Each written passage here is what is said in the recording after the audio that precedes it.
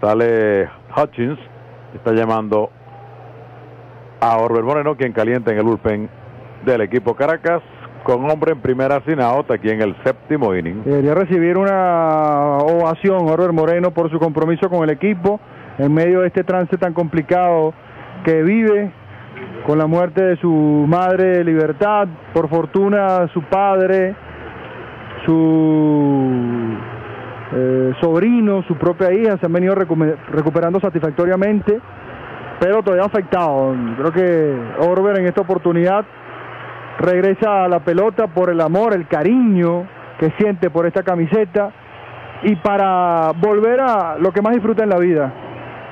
Un aplauso tremendo, la gente de pie y seguramente aquellos que no reconocen a Orber cuando lo anuncie oficialmente Adolfo Preto se unirán a este gran aplauso.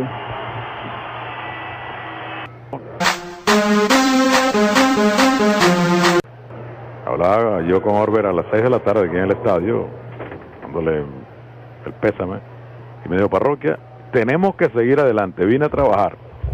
Y el brazo duro, entero, me dijo. Por suerte, ya la entrada está en dos out, boleto y sencillo y un rolling a tercera, hicieron agua en la goma Langueña y sorprendieron ahí entre segunda y tercera González. Público de pie, aplaude pie el último out de este inning número 7. Ganan los Bravos 4 a 1 a Caracas. El parroquia Orbel Moreno, listo de lado en la lomita. El lanzamiento, abanica el cambio, ponche para Torres. Y lo celebra allí el propio Orbe y el público le tributa un gran aplauso. Gracias, madre mía.